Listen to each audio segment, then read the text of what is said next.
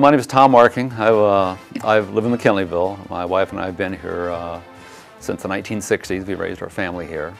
And I came back to uh, McKinleyville in 2000 to serve as the general manager of McKinleyville uh, Water and Sewer Facility. And we had in Parks, Parks and Rec was part of that.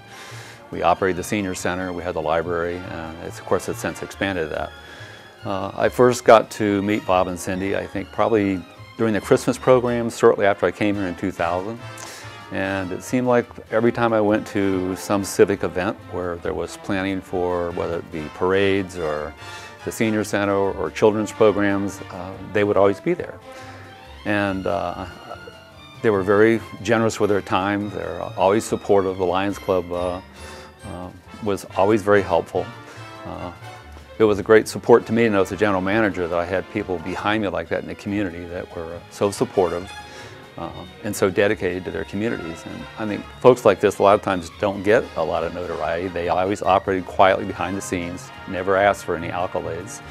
Um, and I think it's great that right now that you know the public has a, ch a chance to honor them with something like this that, uh, for all their service and, uh, and dedication throughout the years.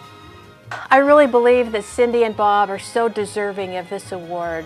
They've been involved in so many volunteer activities over the years. Bob is president of the McKinleyville Lions Club.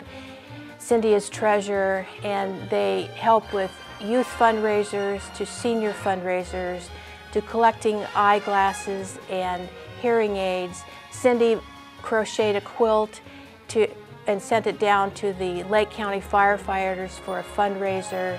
They're the backbone of our Winter Express program, which benefits over 700 kindergartner through third graders. And I couldn't be happier that they're receiving this award.